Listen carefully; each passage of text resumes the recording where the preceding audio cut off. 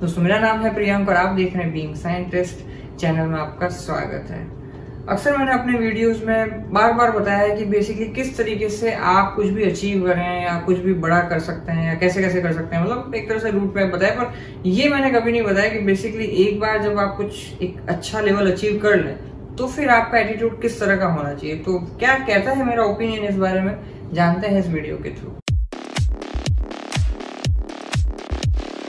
तो जो भी मैं बताने वाला हूँ, वो मैं अपने एक्सपीरियंस के बेसिस पे बताने वाला हूँ। तो क्या हुआ था कि जैसे हम, जैसे अभी तक मेरे को एक बहुत बड़ा अचीवर नहीं था जब मैं बैचलर्स में था और फिर जब मैं मास्टर्स करने आईआईटी बॉम्बे पहुँचा तो मतलब सोसाइटी कह दो फ्रेंड्स कह दो फैमिली कह दो मतलब उन्होंने ऐसे स्पेशल फील करा दिया कि अब तो मैं पता नहीं क्या बन गया हूँ और अपने से कोई क्रिटिसिज्म लिया नहीं जा रहा। और बिल्कुल मतलब होता है ना कि आई एम समवन वाला एटीट्यूड आ गया। और फिर धीरे धीरे मतलब लाइफ के फेजेस में मैं आगे बढ़ा पीएचडी में मैंने एंट्री ली, कुछ फेलियर्स मिले तो वहाँ से जो है मतलब मेरे को धीरे धीरे ग्रोइंग माइंडसेट आया और वहाँ से मैंने बहुत सारी चीज़ें सीखी, समझी। तो ये हर कोई बोलता है कि, है ना, आपको मतलब सक्सेस भी मिल जाए तो हम्बल रहना चाहिए हम्बल रहना चाहिए। लेकिन ये कोई नहीं बताता कि बेसिकली हम्बल रहने का जो माइंडसेट है वो वापस आएगा कैसे? होना चाहिए, सबको पता है आइडियल सिनेरियो यही होना चाहिए, पर एक्चुअल में आप हम्बल कैसे रहोगे? तो सबसे पहली चीज़ तो ये कि जब आप रियलाइज़ करते हो कि आप जिस भी लेवल पे हो, अब आप मेरे एग्ज़ाम्पल को छोड़ दीजिए, आप किसी भी लेवल पे, मान लीजिए आप बहुत ज़्यादा अमीर या सक्सेसफुल बन गए हैं, या फिर बहुत ज़्यादा नाम हो गया है, या आप मान लीजिए बहुत ज़्यादा सुंदर हैं और आपको बहुत ज़्यादा अचीवमेंट फील होने लगा है कि मतलब मैं तो पता नहीं क्या बन गई हूँ या ऐसा कुछ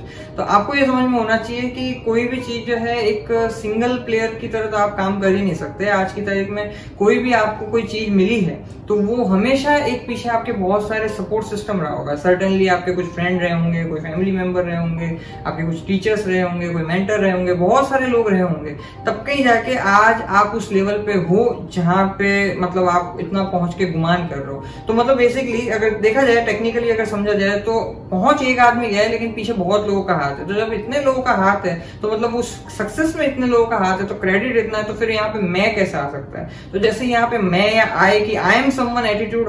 हटता है तो ऑब्वियसली कि it is all because of you people वो जब एक एटीट्यूड आता है कि एक सेंस ऑफ़ ग्रेटिट्यूड कह सकते हैं, आपको समझ में आता है कि बेसिकली इन सब के एफर्ट्स की वजह से आज मैं यहाँ पे पहुँचा हूँ तो there is no reason to become egoistic then और फिर आपको आई एम समवन एटीट्यूड तो सर्टेनली ड्रॉप हो ही जाता है। और दूसरा जो रीजन है, दूसरा जो एक माइंडसेट आपका डेवलप होता है, वो ये कि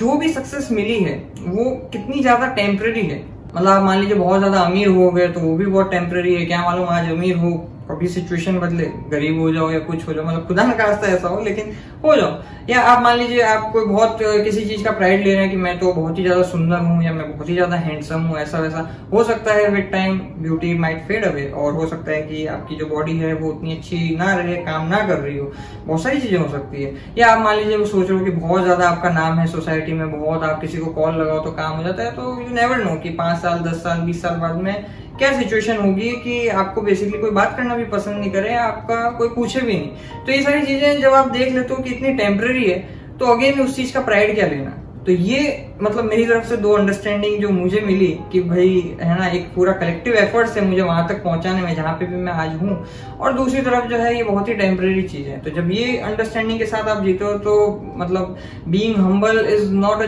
choice it becomes you know normal it becomes so natural कि हाँ ये तो ऐसे ऐसे ही होता, हो जाते हो। मतलब एफर्ट नहीं मारने पड़ते हम्बल होने के लिए। और जब आप इस तरह से होते हो ना तो आप इतने पीसफुल होते हो ना, इतने शांति होती है, सुकून होता है आपकी ज़िंदगी के अंदर। ये मतलब वही बता सकता है जो कि उस तरह से जी रहा है या जी चुका है। तो बी हम्बल और वैसे भी आप उन्हीं लोगों की हम रेस्पेक्ट करते हैं आप क्या मैं भी उन्हीं लोगों की रेस्पेक्ट करता हूँ जो कि भले ही कितनी सक्सेसफुल हो जाए, कितनी ही आगे पहुँच जाए, कितनी ही ऊपर पहुँच जाए, लेकिन फिर भी वो हम्बल है। जैसे फॉर एग्ज़ाम्पल आप बहुत सारे हमारे यहाँ पे प्रेसिडेंट आके गए इंडिया में, लेकिन I think everybody would remember doctor APJ Abdul Kalam बहुत सारे यू नो क्रिकेटर क्रिकेटर्स आके गए हैं, लेकिन आई थिंक सचिन तेंदुलकर को हर कोई जानते होंगे और इसी तरह से बहुत सारे म्यूजिशियन भी गए हैं बट जो ए आर रहमान है, उनका एक अलग चाम है, क्योंकि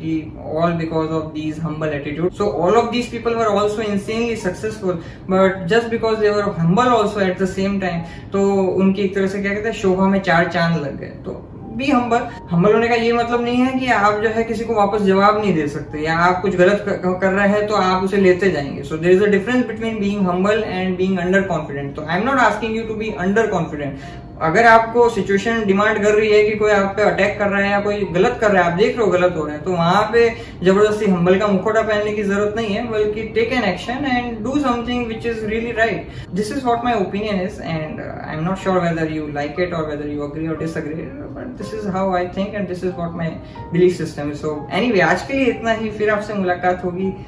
जय विज्ञान।